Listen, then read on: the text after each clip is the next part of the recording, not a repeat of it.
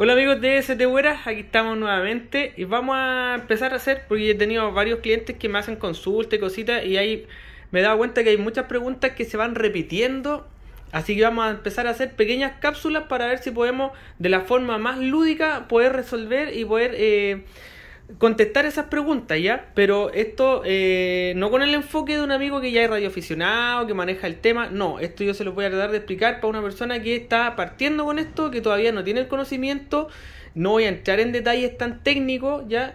Eh, porque no va a faltar el que me va a decir, oye, pero Felipe, mira, esto así, así, perfecto, vamos a poder hablar de onda, de otras cosas, pero en este, en estas cápsulas, no, chiquillo, en estas cápsulas la radioficción va a ser, eh, la vamos a enfocar de la forma más lúdica para que la persona la puedan entender. ¿Ya? Correcto. ¿Qué es mejor, chiquillos? ¿Programar en VHF o programar en UHF? ¿Ya? Cuando hablamos, ¿cierto? Del VHF nos estamos refiriendo a la frecuencia, ¿cierto? Que van de las 136.000 a las 174.000 MHz, más o menos, ¿ya? Megahertz. Pero más o menos es el rango. Sé, sé que VHF es más que eso y todo, pero estamos hablando eh, enfocado a este tipo de equipos que son los equipos que los clientes más o menos van a poder tener disponibles, ¿ya? Así que para nosotros, en este caso, para, esta, para este ejercicio, nuestro VHF va a ser de la 136 a la 174 M, eh, MHz, ¿cierto? Y el UHF va a ir de la 400 hasta la 520 eh, MHz, ¿cierto? Entonces, ¿qué será mejor, chiquillos? ¿Qué es mejor, programar en B o programar eh, en U? Perfecto. Estas bandas por lo general tienen comportamientos relativa, relativamente similares. Su forma de radiación es horizontal, ¿cierto? Y, y tienen comportamientos relativamente similares. Ahora, UHF tiene la particularidad de que atraviesa mejores estructuras, ¿ya? Por lo cual, por ejemplo, si yo voy a estar como conserje de repente en una instalación, en un edificio, donde van a haber menos dos pisos, donde voy a tener bastante concreto, donde voy a estar, qué sé yo, eh, con, con varias cosas, varios obstáculos, yo necesito una una señal que tenga mayor fuerza de penetración en, esa estructura. Entonces yo programaría, ¿cierto? Una señal dentro de las 400 hasta los 520. Por ejemplo, la 433, 275, por poner un ejemplo, ¿cierto? ¿Ya? Entonces, para eso se usaría lo que es el UHF, ¿ya? Porque es una onda, ¿cierto? Que en estricto rigor tiene, tiene varios otros comportamientos, pero vamos a decir que para estos efectos prácticos se comporta mejor eh, cuando van a haber más obstáculos, ¿cierto? Si yo estoy en un bosque muy, muy, muy tupido y estoy solamente eh, ocupando estos equipos de equipo a equipo, este con ese, ese con ese y ese con ese, ¿ya? Y no a través de una antena repetidora o otra cosa, yo voy a programar en UHF, pues chiquillo, ¿ya?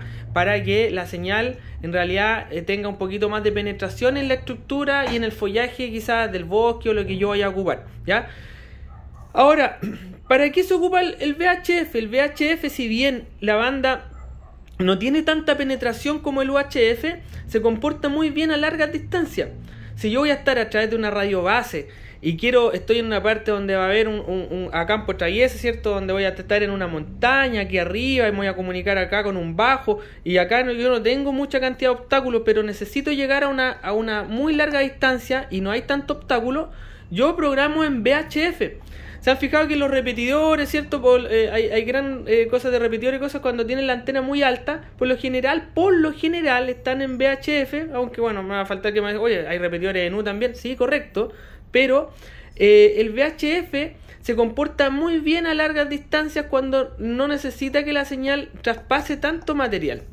Entonces yo cuando usaría en altura usaría esto, usaría por ejemplo en, en, en el mar, ya si bien las frecuencias marinas están dentro de estos rangos también. Eh, entonces yo programaría así, donde va a haber menos obstáculos y donde yo quiero que la señal llegue o viaje más, más lejos y más libremente. Si yo voy a programar, insisto, en una parte donde va a estar muy, muy, muy tupido, donde va a haber muchos árboles, muchos edificios, si voy a estar en plena ciudad, en alguna parte, yo programaría en UHF, ¿ya? Eso es lo primero que hay que entender, chiquillos, ¿ya? Así que eso, esto es una de las primeras cápsulas. ¿Qué es mejor, programar en VHF o en UHF? Bueno, eso lo deciden ustedes, ahí tienen más o menos eh, una de las características de cómo se comporta una banda eh, con respecto a la otra y ustedes ahí tienen que elegir según el trabajo que van a hacer en cuál de las dos programar chiquillos, ¿ya? VHF o UHF, ahí lo dejo ahí a, a lo que ustedes necesiten. Un gran, un gran saludo amigos míos.